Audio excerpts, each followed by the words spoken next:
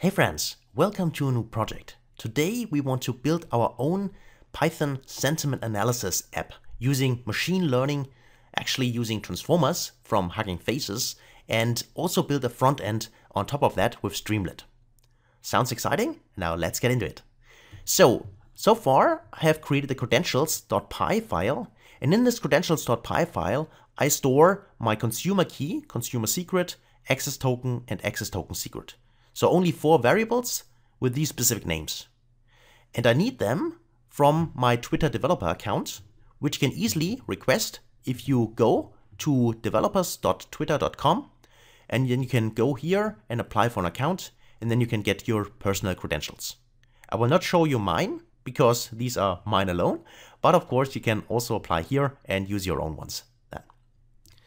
So after doing this, we also need a few additional libraries, which is TweePy, Streamlit, Pandas, and Transformers. So let me actually go here and, and create a new file here.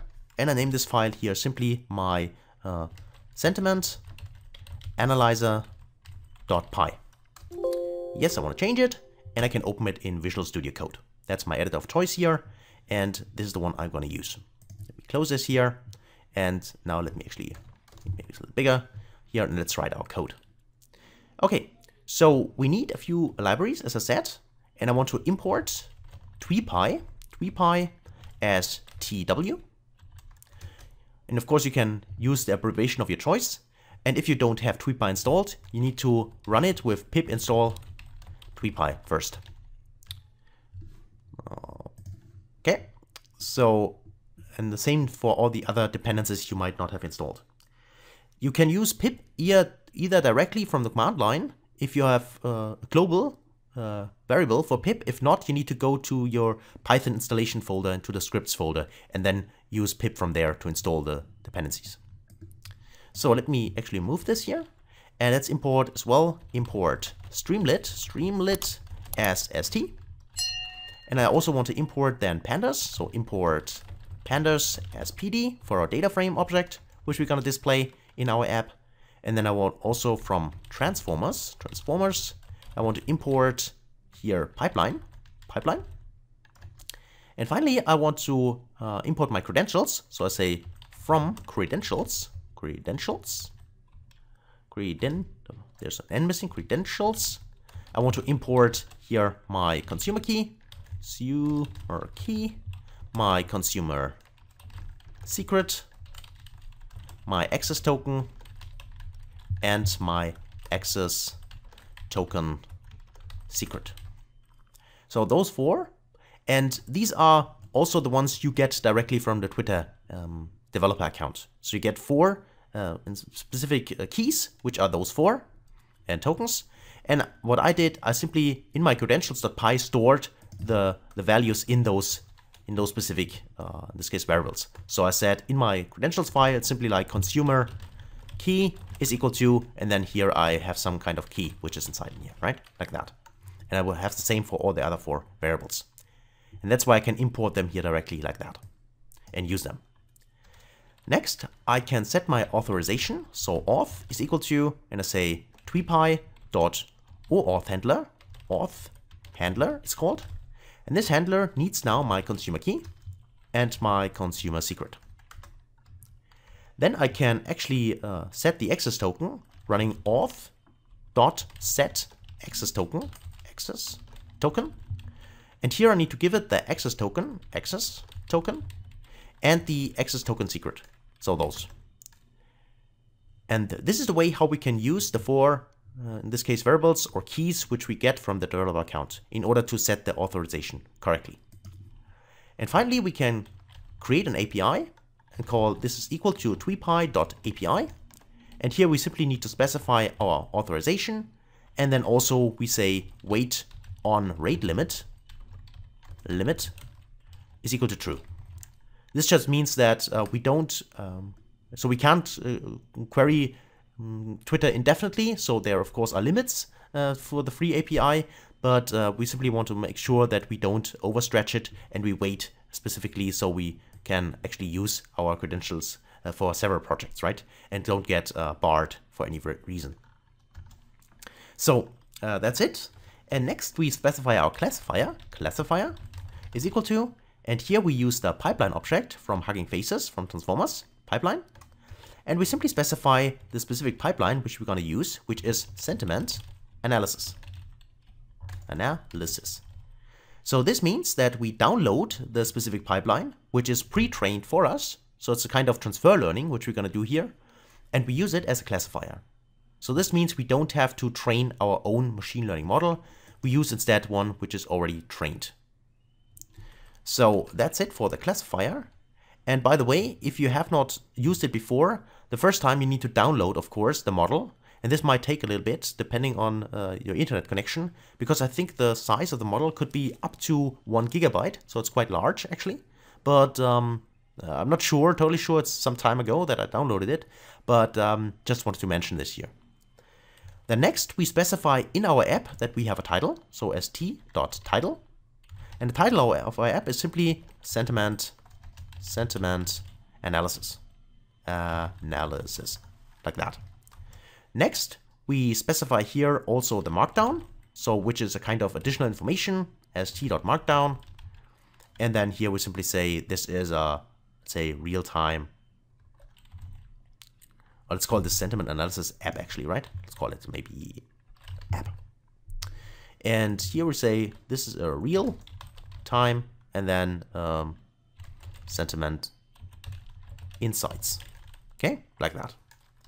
Okay, so we're good to go. And next we, of course you can write in longer text to give more explanation for people using your app. So we specify the title and then also a markdown, so additional information.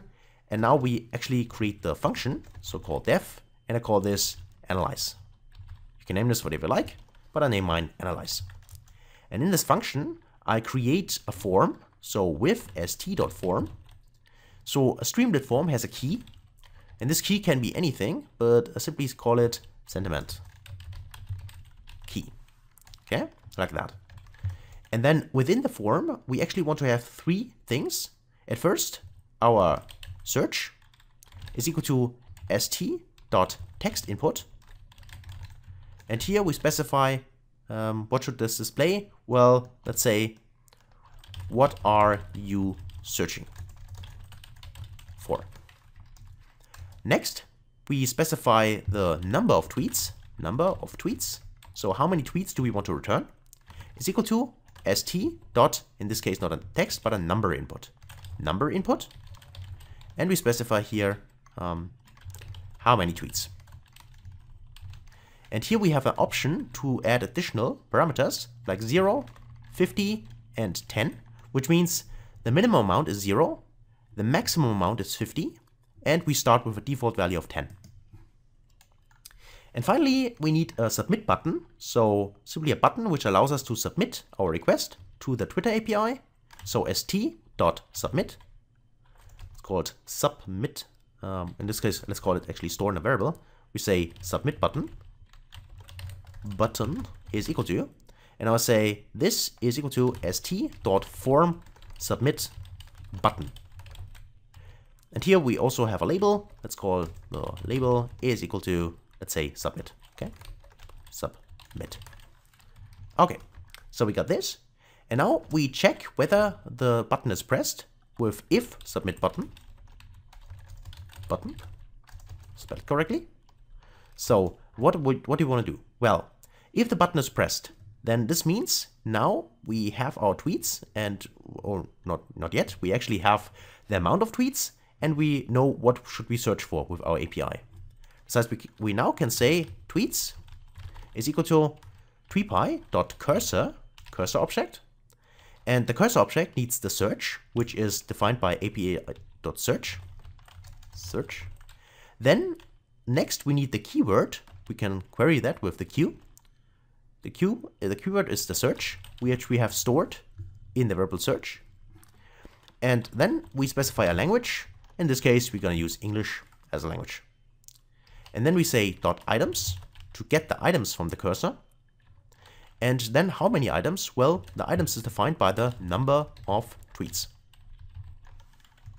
So this now means we use now our API. We search for the search word here and um, we search in English language. and we go or get back the number of tweets which is stored in here by also an input from the user of our, in this case, sentiment app. Next, we specify the text from the tweets. We say um, tweet list, tweet list is equal to, and we use a list comprehension here and say i.text for i in tweets. That's the first one. Next, the text itself needs to be put into our pipeline object to classify it as positive or negative. So we say p is equal to, and again, a list comprehension, and I say i for i in classifier. And here we put in simply the tweet list.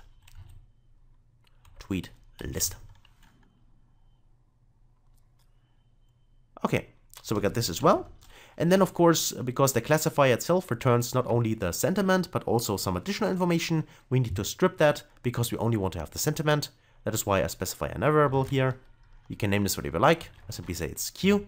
And then I say from the sentiment, uh, the ith element, I'd like to have actually what's inside the label from this dictionary. And here I say for i in range and then length of p. So we got this.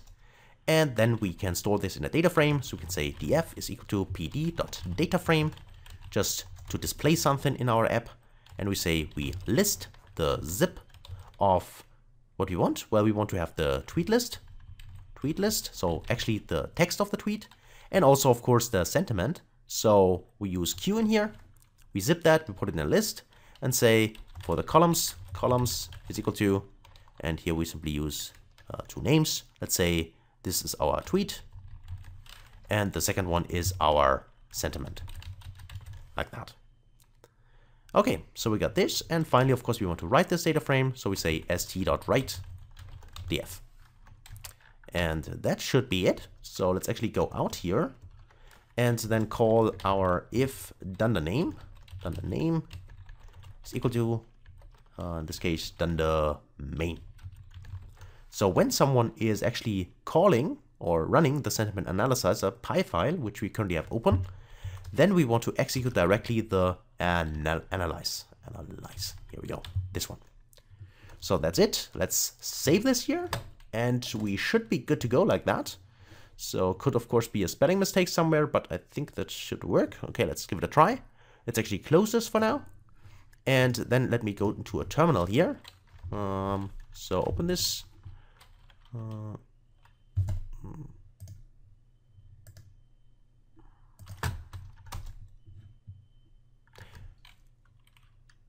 Okay. And now let's actually run this. Let's call sentiment, or let's call Streamlit, sorry, Streamlit run, and then sentiment, uh, sentiment analyzer dot py. And then should be it. So let's run this. And now actually we should open localhost. That is true. Now it's opening the host and we see our app. It is running. Let's just see credentials because I misspelled it. Okay, I thought so. There's a spelling mistake. Let's go inside and let's actually uh, make this correct. Credentials, so there's no N in here. Credentials, that's fine. Let's save this. Let's close this. Let's go back to our browser and let's actually always rerun this.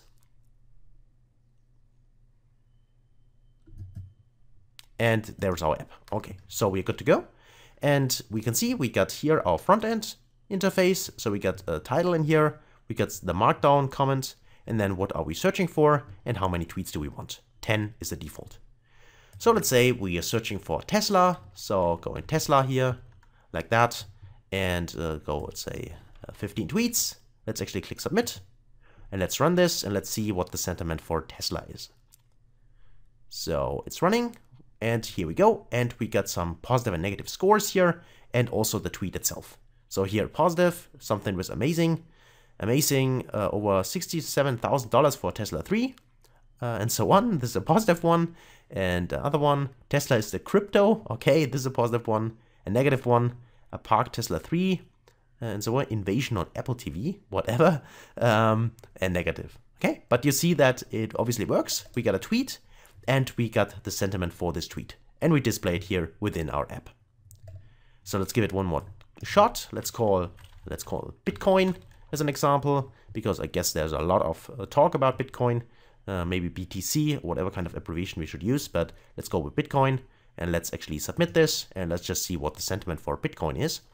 So again, we are querying the API, we're using the, um, in this case, our classifier, and then we got a lot of negative sentiment, at least the last ones which we can see here, which is negative for Bitcoin. So maybe uh, for now, we should retreat a little bit um, uh, in regarding uh, the Bitcoin itself okay? So um, this is of course uh, just an example. Uh, you can try this out yourself. Uh, this is by no means any kind of investment advice or something like that. It was all about the app itself. And I just want to encourage you, maybe you can create this app yourself, try this out, and also then maybe query different kinds of search parameters you are interested in, okay? So that's it for this little project. So I really enjoyed it. Hopefully you enjoyed it too. Hopefully you learned something. And if you liked it, then please give me a thumbs up. And also please subscribe to the channel because of more people subscribe to the channel and channel is growing, then of course I will create more videos like that. Or also maybe on um, Power BI, also in Tableau or any other kind of, uh, well, projects you're interested in. Just let me know and subscribe. So please Stay safe, take care, and hopefully see you in the next video. Until then, best guys.